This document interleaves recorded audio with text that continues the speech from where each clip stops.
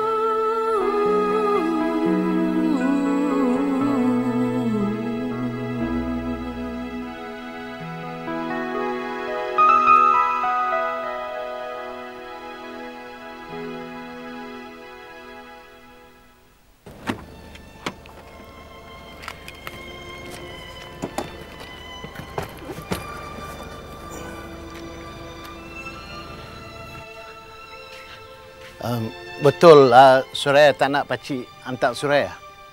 Betul Pak Cik. Su tak nak susahkan sesiapa. Alah, bukannya susah memandu kereta. Ha, nanti sesat di KL lagi susah. Ha, KL sekarang ni jalan bersimpang siur. Alah Pak Cik. Pandailah Su cek jalan nanti. Kalau susah-susah sangat, Su telefon je Azman tu nanti. Bila dah habis kerja balik cepat-cepat eh. InsyaAllah Mak Cik. Bila dah selesai semua kerja, Su akan balik sini semula.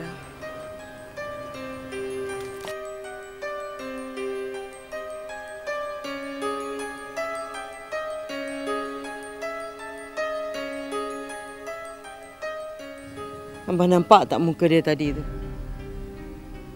Nampak muka dendam dan kesedihan. Abang tak risau ke? Abang dah kata, kita tengok sejauh mana dia nak pergi.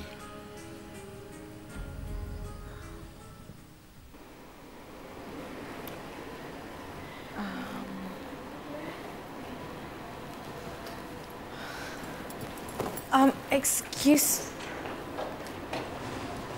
Uh, ya, Cik, Cik siapa? Oh ya, yeah, um, saya cari Azman. Azman Hashim. Dan Cik? Suraya Salihuddin. Okay. Sini kat saya.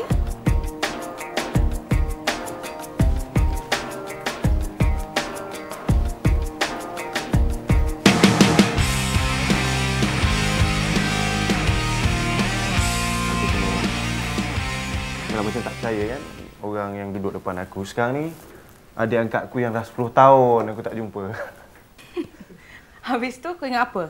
Aku ni hantu adik kau? Eh Tak adalah sampai macam tu sekali Eh tapi so Kau Memang lain lah Nampak Nampak lain lah so Eh, aku pelik lah. Kenapa semua orang cakap aku nampak lain? Okey, apa yang lainnya? Cuba bagi tahu aku. Okay lah nampak cantik sikit daripada dulu lah Nang kau ni buat lawa pula lah. Eh so Tunggu sekejap eh Aku nak keluar sekejap Eh, kau nak pergi mana? Aku nak suruh setiausaha aku buatkan air untuk kau Kau nak air apa? Kopi? Teh? Susu coklat. Susu coklat. Yang itu kau tak berubah. Sekejap aku pergi ambil jap. Eh?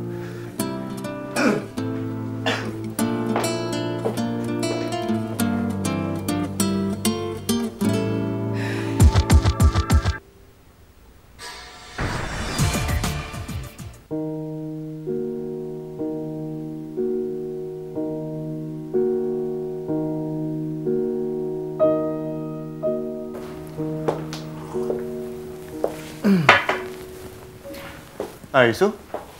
Dari tadi aku tengok kau asyik pegang cawan tu je, tak minum ah?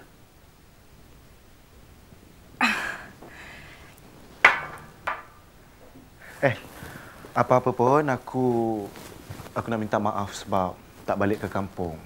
sebaik saja aku dapat tahu yang kau dah balik ke Malaysia. Minta maaf. Eh? Tapi kenapa eh? Uh, kenapa apa? Kenapa kau tak balik kampung? Oh.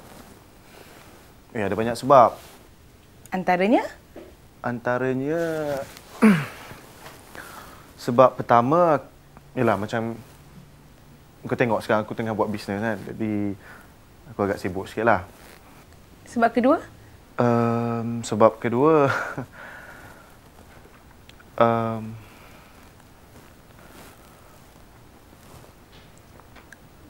Rumah ini mesti dikosongkan dengan segera sehingga Suraya balik nanti. Faham?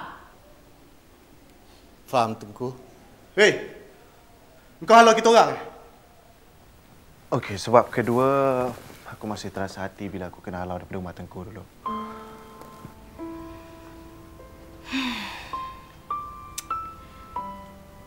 Man. Tapi bukan aku yang halau kau kan? Cik aku. Makcik aku pun sendiri tak pernah kenal pun.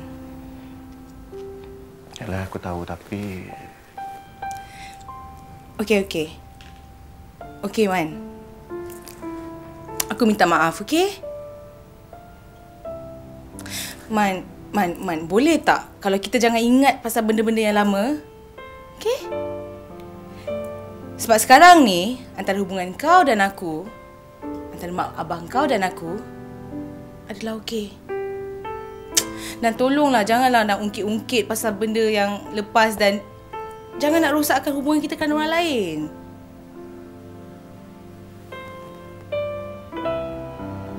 Boleh?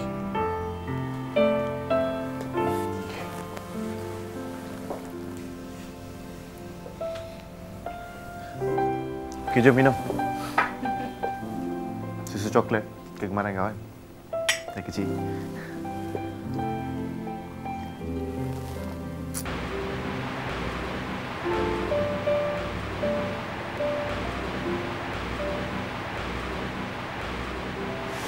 Engkau suruh aku datang sini, kau cakap perempuan ni boleh bantu kita.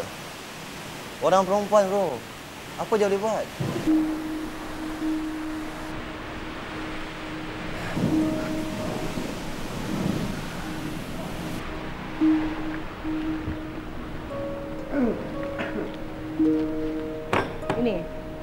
Ini buktinya. Raina Datuk Rashid. Semua orang kenal dia. Apa kena mengena dengan you? Siapa kata perempuan tak boleh berjaya dalam bisnes? I tahu I mampu. Cuma dengan syarat I nakkan Habuan sebagai pembakar semangat I. Apa isyarat dia? I nakkan 10% komisen atas setiap projek yang I mampu usahakan nanti. You ni ada cukup kabel ke? Of course.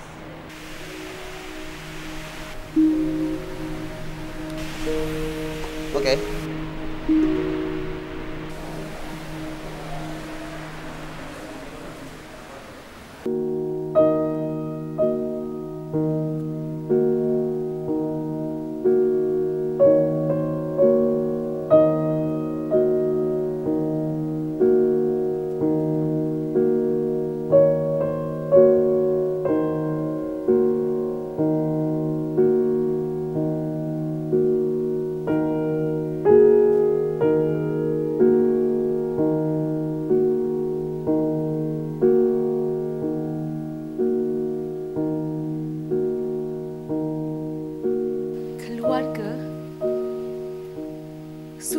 Keluarga ke di mata Nenda? Di mana perginya keluarga? Bila mama papa dipulaukan? Dan apa artinya keluarga di mata Nenda? Apa artinya Nenda? Dan oleh kerana Su dibesarkan oleh orang kebanyakan, maka Su pun akan jadi orang kebanyakan juga Nenda.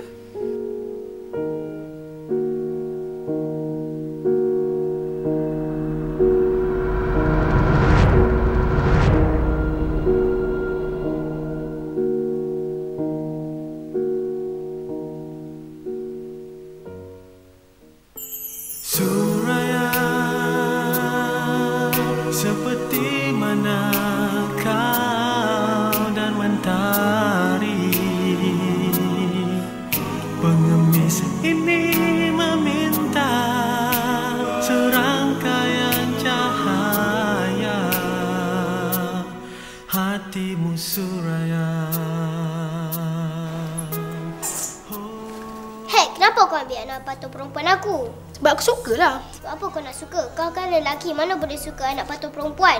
Aduh, aku bukan suka anak patung ni lah. Aku suka kau. Kau aku pelempang kau. Pelempang? Eh, pelempang kat sini. Ish, eh, itu tolak lah. Pelempang. Ih, Pelempang tangan kanan lah, pelempang. mm. Aduh, eh kuat juga eh. Padamu suraya Azman?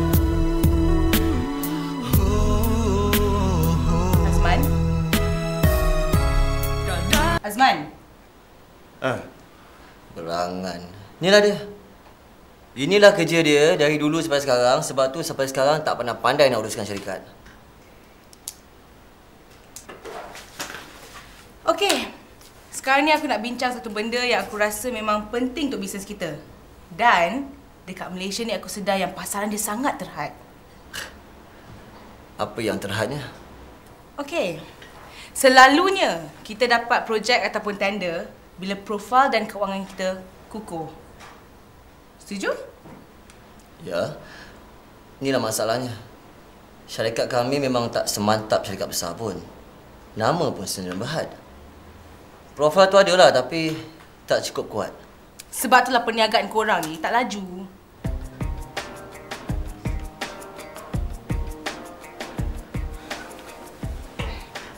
So, macam mana?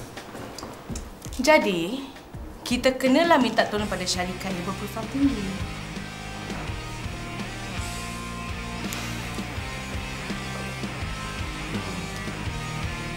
Ada kontak?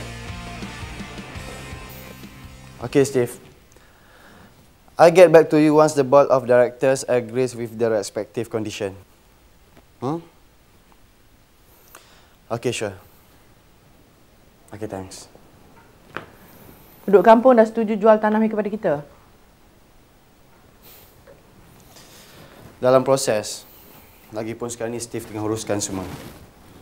Steve broker tanah daripada London tu. Yelah. Kan dia ada cawangan kat Malaysia ni. Hmm. Bagus. Megak pastikan hotel keluarga kita dapat dibina atas tanah tu.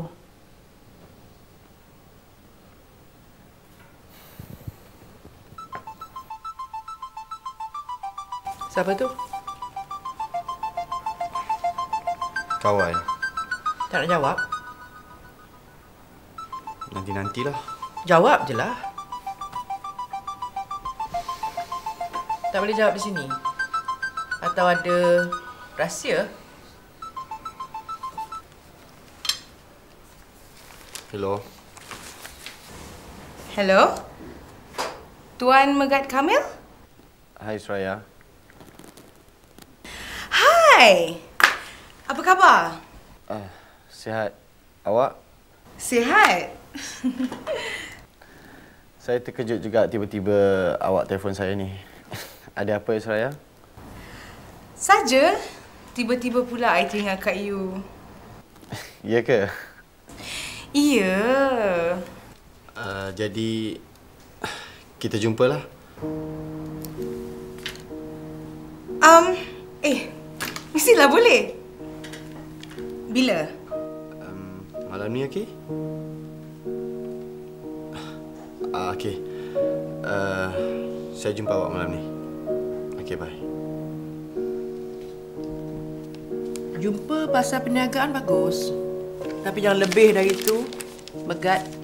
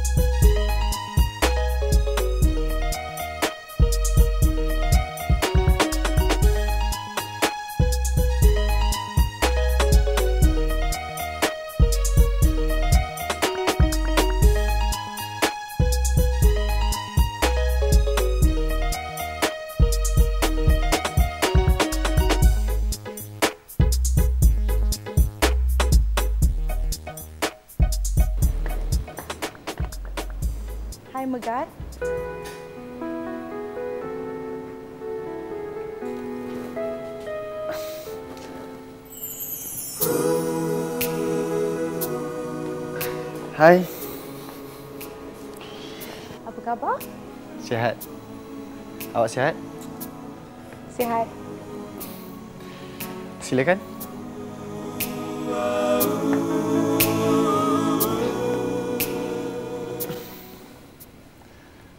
Kenapa awak ambil masa lama sangat untuk telefon saya? Biasalah, sibuk sikit dengan kerja. Sebenarnya saya datang ni pun ada sebab. Saya faham. Memanglah bila kita dah jumpa ni memanglah ada sebab, kan? Mungkin awak nak kenal saya lebih rapat? Betul. Dan juga nak kenalkan awak dengan abang saya. Abang awak?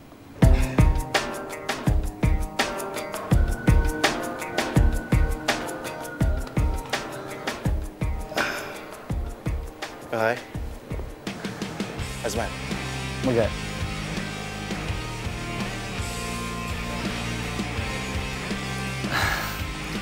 Uh, minum? Hmm. Waiter?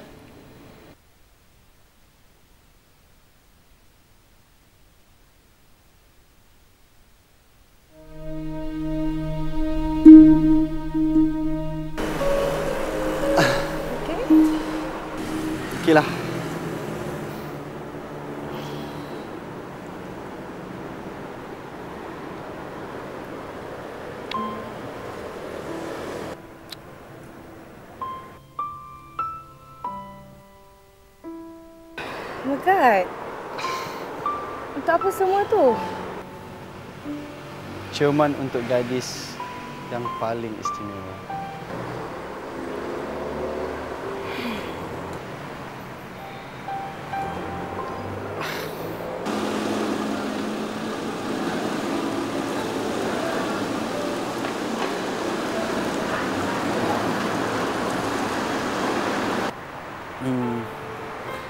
Okeylah. Pasal projek tu nanti saya bincang dengan pengarah-pengarah yang lain dan insya-Allah saya akan tolong awak. Terima kasih banyak-banyak. Ah, tapi buat masa sekarang ni saya kena balik dulu, ya? Tapi lain kali kalau boleh bila jumpa saya harap kita berdua je lah. Mungkin saya lebih selesa kot. Okey. Eh, silakan.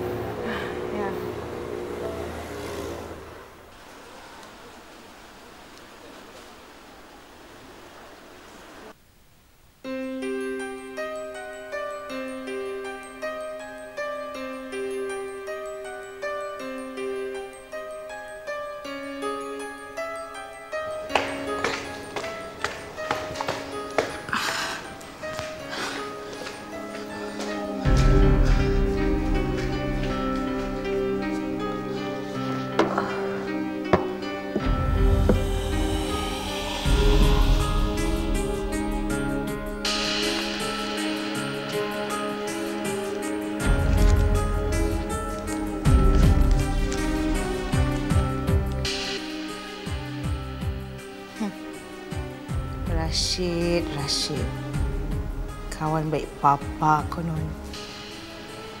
Kalau kau kawan baik papa, kau tak akan pelekikan papa.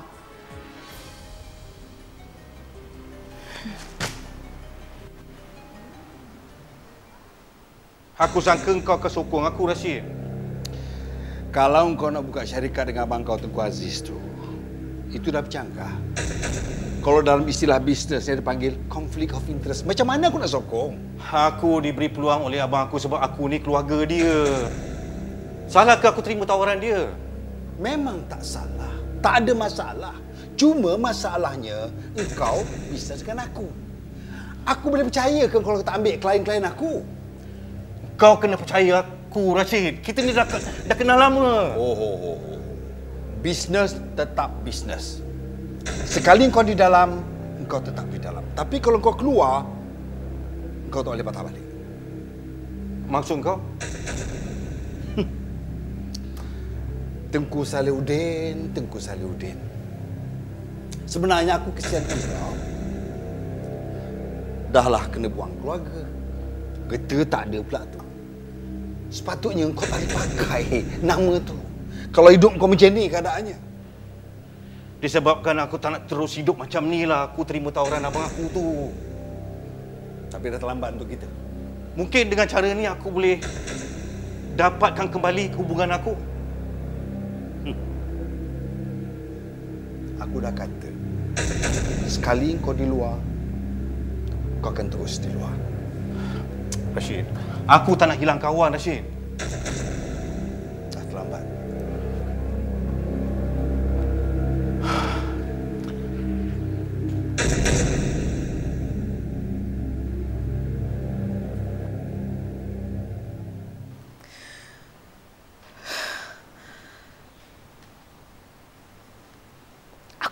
Papa mama aku kena bunuh.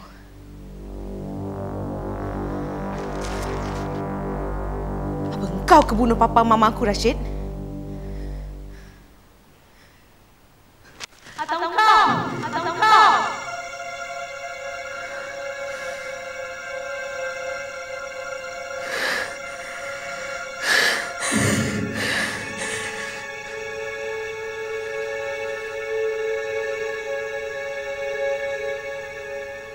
Megat ingat pesan bonda. Bonda tak mahu maruah keluarga tercalah hanya kerana seorang perempuan yang kita tak tahu asal usulnya. Dan bonda tak mahu apa-apa pun yang menghalang pernikahan Megat dengan Tengku Amanina. Faham?